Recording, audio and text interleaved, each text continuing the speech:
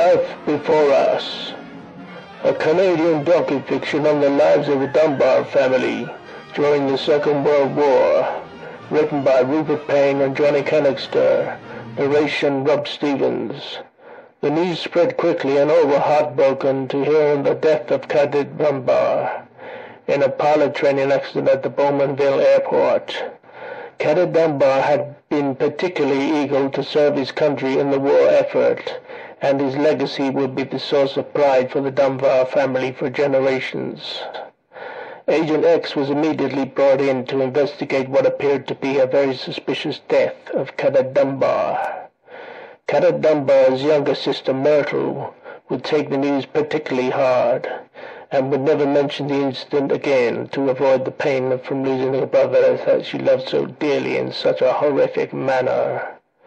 Colonel D. Dunbar was out on the town with his horse Whiskey when the tragedy occurred. The colonel was a dam buster during the First World War, and he was an inspiration for Carrie Dunbar wanting to join the service.